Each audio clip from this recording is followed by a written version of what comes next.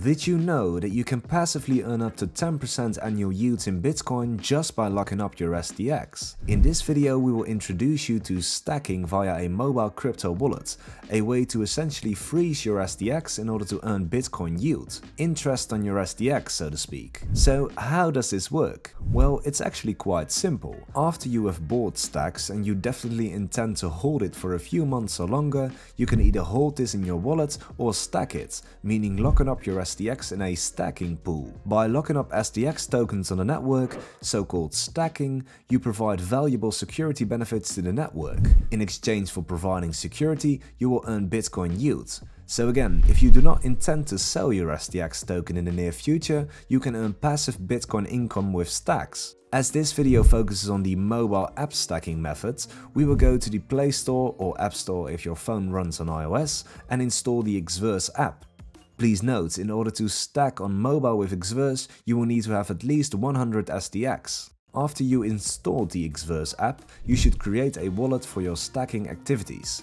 Please note, if you bought STX via the Hiro wallet, you already have a Stacks blockchain address and can use the Hiro secret key phrase to log onto your Xverse app as well.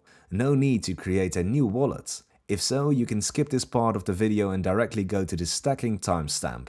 If you are new to creating a crypto wallet, you continue creating a new wallet. The crypto wallet provider will give you a 12-word secret key phrase that you should never share with anyone, even refrain from taking a screenshot. If you lose your secret keys, you will never be able to access your crypto again. If someone else gets a hold of your keys, he or she will be able to transfer your tokens away from your wallet. So again, please never lose your secret keys and never share them with anyone. After verifying that you have remembered your secret key, you will get the option to secure your wallet and create an extra password for your wallet. Well done, you have successfully created your wallet. Now you will need to add at least 100 STX to your wallet.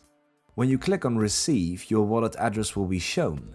This address is needed to transfer your crypto to your stacking wallet. If you hold crypto on an exchange, you can simply do this by going to the stacks icon, click withdraw, fill in the address of your wallet and transfer the amount that you want to send. Note that often there is a fee involved, so you should transfer more than 100 STX. From an exchange to your Xverse wallet, no memo is needed.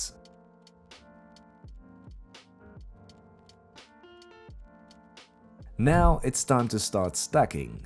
Go to the Earn tab and click Stacks. Here, the minimum balance, estimated reward cycle, pool fee, estimated annual yield and start of the next cycle will be displayed. Please note that a cycle roughly counts for 2 weeks. When clicking continue, you are able to choose the amount you want to lock, choose the amount of cycles, we will go for 4 which is about 8 weeks, and choose your Bitcoin reward address. The automatically filled in address is your Xverse Bitcoin address. After having clicked continue and confirmed, you now have scheduled your stacking cycle. It could take a few minutes before the request has been confirmed. When confirmed, you will have to wait for the pool to lock, which will happen just before the end of the current cycle. If you simply cannot wait, you can go to stacking.club to check out when the next cycle will start. After the cycle starts, you will be paid out after each cycle ends. Well done! You have successfully contributed to the security of the Stacks blockchain and earned passive Bitcoin yield because of it. You are now a true stacker. Thank you very much for watching this tutorial. If you want more of these types of tutorials, make sure to like the video and leave a comment. Thanks for watching.